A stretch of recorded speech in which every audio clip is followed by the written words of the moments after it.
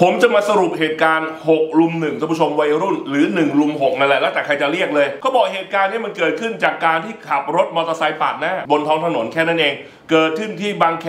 หมู่บ้านสุขสันต์6กก็โดนปาดหน้าแล้วไม่พอใจเลยท่านผู้ชมนะก็ไปตามพวกอีก 5 คนรวมเป็น 6 ไปหน้าบ้านเขาเลย ไปแสดงอิทธิฤทธิ์หน้าบ้านเขาทั้งด่าทอทั้งตะโกน ทั้งแบบมึงออกมาสินู่นนี่นั่นปาของเข้าไปในบ้านเขาในบ้านเนี่ยก็มีน้องผู้ชายเสื้อเหลืองคนหนึ่งแล้วก็แฟนอีกคนหนึ่งนะซึ่งเป็นผู้หญิง สุดท้ายเนี่ยภาพที่ผมเห็นคือปาไม้ม็อบเนี่ยไม้ถูพื้นเป็นพุ่งเหลาไปบ้านเขาเลย ก็มันอดรนทนไม่ไหวอะนะมาหยามถึงหน้าบ้าน ไม่ปลอดภัยด้วยเดี๋ยวถ้าลูกเมียไม่ปลอดภัยจะทำอย่างไรล่ะ ตัดสินใจท่านผู้ชมจะออกไปคุยเนี่ยแหละแต่ก็ต้องมีอาวุธคู่กายหน่อย คว้ามีดสปาร์ต้าไปแล้วก็บอกมาสิวัยรุ่น วัยรุ่นเห็นมีดก็แตกบ้างอะไรบ้าง ก็เป็นอย่างที่คลิปเราเห็นแล้วท่านผู้ชมนะ รุมตีกันไปรุมตีกันมาสุดท้ายเนี่ยเสียชีวิต 2 คนแล้วบาดเจ็บสาหัส 1 คนท่านผู้ชม ก็หลังจากเหตุการณ์เนี้ยก็ถูกเจ้าหน้าที่ตำรวจเนี่ยควบคุมนะน้องคนที่เป็นมือมีดเนี่ยนะที่ถือสปาร์ต้าออกไปเนี่ยก็แจ้ง 3 ข้อหาฆ่าผู้อื่น พยายามฆ่าแล้วก็พกพาอาวุธมีด แต่น้องเขาบอกว่ามันเป็นการป้องกันตัวไหมพี่อะไรอย่างเงี้ยแล้วก็รายการโหนกระแสเนี่ยสองในหกคนเนี่ยก็ให้สัมภาษณ์กับคุณหนุ่มกรรชัยบอกอย่างนี้ว่า ถ้าออกมาคุยหน้าบ้านก็จบแล้ว ไม่กระทืบอย่างแน่นอน เพราะหวังแค่ไปเคลียร์ไม่อยากให้เกิดเรื่องแบบนี้ขึ้นเลย ด้านแม่ของน้องผู้เสียชีวิตเขาก็บอกอีกว่า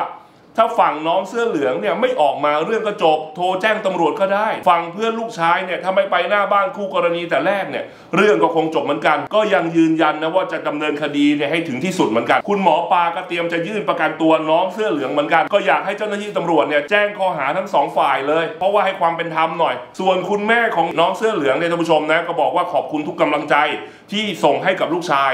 ทั้งนี้ทั้งนั้นเนี่ยต้องรอลูกชายออกมาบอกเรื่องราวที่มันเกิดขึ้นก่อน เดี๋ยวรอประกันตัวก่อน ประมาณนี้นะครับ แต่ส่วนตัวผมอันนี้เป็นความคิดเห็นส่วนตัวนะ ถ้าเราไม่ไปหน้าบ้านเขา มันก็จบไอ้เรื่องขับรถปาดหน้าบนท้องถนนเนี่ย เจอทุกวันอะร้อยพ่อพันแม่ เราคิดซะแบบนี้ว่าบางทีเขาอาจจะมองไม่เห็น วิสัยทัศน์ในการมองกระจกข้างเนี่ยมันอาจจะมองไม่ได้ มันอาจจะหลุดกรอบหลุดเฟรมไปบ้าง มันมีอยู่แล้ว ถ้าเกิดความไม่พอใจก็ถ้าขับรถเก๋งก็ด่าในรถพอรวยขับรถอย่างนี้ แต่ถ้าขับมอเตอร์ไซค์ก็ด่าในใจพอแล้วแล้วก็ขับต่อไป นึกถึงหน้าลูกหน้าเมียพ่อแม่พี่น้องที่อยู่ที่บ้านไว้ ใจเย็นๆ ไม่ใช่ถนนนี้ค่าคลองโอ้โห ใครจะมาขับปาดหน้า ไม่ได้กูไม่ยอมอย่างนี้มันก็ไม่ได้ นักเลงไม่มีแล้วข้างนอกเนี่ยอยู่ในเรือนจำอย่างเดียวนักเลงในขณะนี้นะฮะเพราะฉะนั้นเนี่ยรักอนาคตรักครอบครัวก็กรุณาเถอะครับ ใจเย็นๆ แต่เหตุผลครับ การใจเย็นครับ การพูดคุยกันเนี่ย มันตัดสินได้